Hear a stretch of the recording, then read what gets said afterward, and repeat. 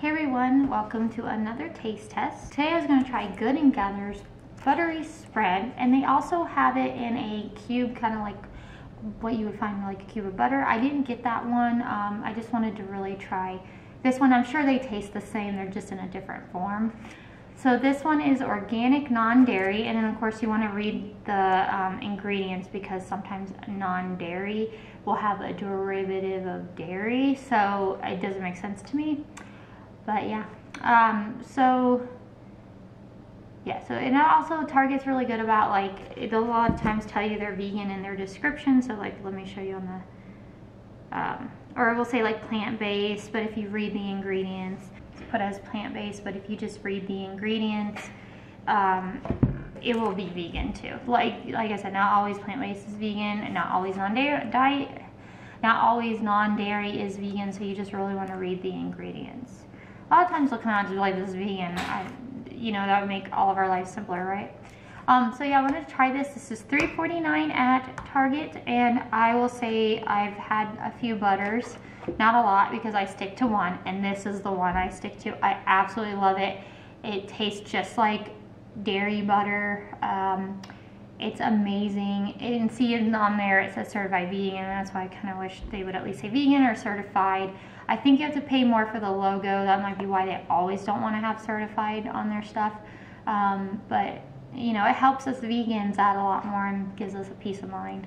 But this is the best butter ever, so I wanted to see how this butter is. And I don't know how new this is. I just happened to find it on Target and was like, wow, because I do look probably once a month maybe a little more than once a month, but I haven't seen this until now. It could just been the way I filtered it. Um, so yeah, I'm curious how this tastes because this is a little, I think it's like a dollar more, so it's closer to five bucks, but this literally is the best butter ever.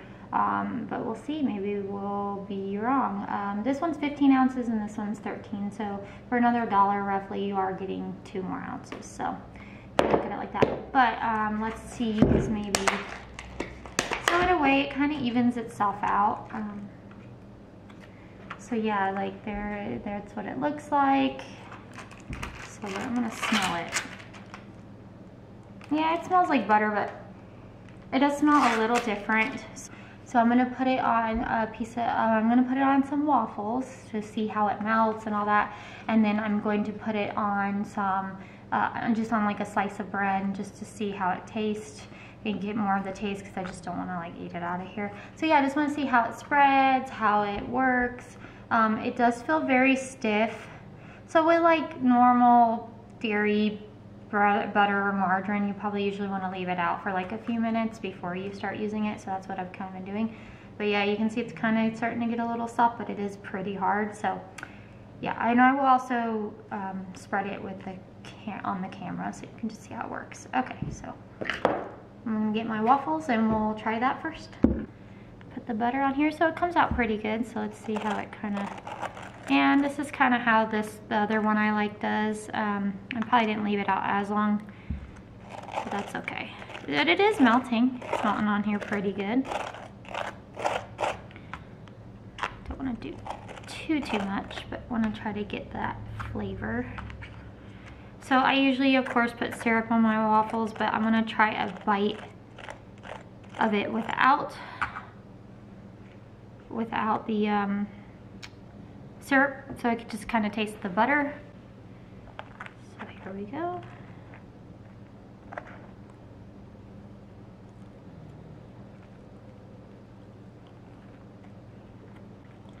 And the butter kind of just tastes like regular melted butter. I have a little bit of a different taste, but okay, so I'm gonna spread it. I wanna see how well it spreads, spreads on bread. It could be a little hard, but let's see.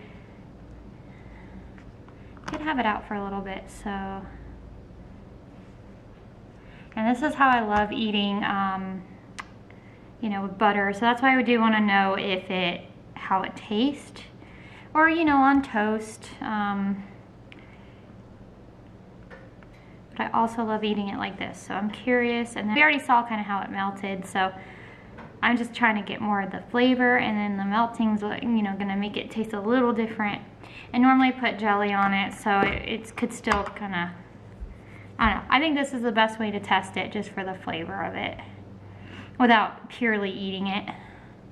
All right, so I'm gonna go back up in the camera so you see it spreaded pretty good. Still a little tough to spread, but it's not bad. I've had butter where it's like ruins the whole bread, so. All right, go. So yeah, there's that, and all right, here we go.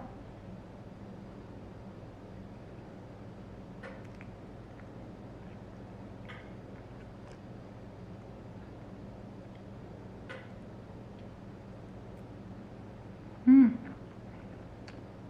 It's pretty dang good. It tastes to me like real butter. Or, you know, not real butter, dairy butter. It is real, either way. Um, this is actually really good resemblance. I love the, uh, the one I showed you, but this is probably just as good. If not better. So, yeah, I would definitely recommend this. Especially if you can't get your hands on that one. This would be a really good one to get.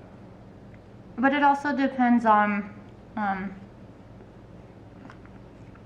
do you want to pay, you know, for a few ounces more or not? So, yeah, but I like it a lot.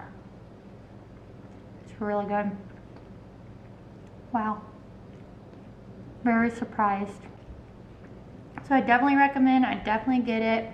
Give it a try anyway, see if you like it. But I think what I remember what butter tastes like, tastes exactly like this. You know, dairy butter, not, not butter. Alright, so that's all for this taste test. Thank you for watching. I hope you like, share, subscribe. I'll see you in my next one. Bye!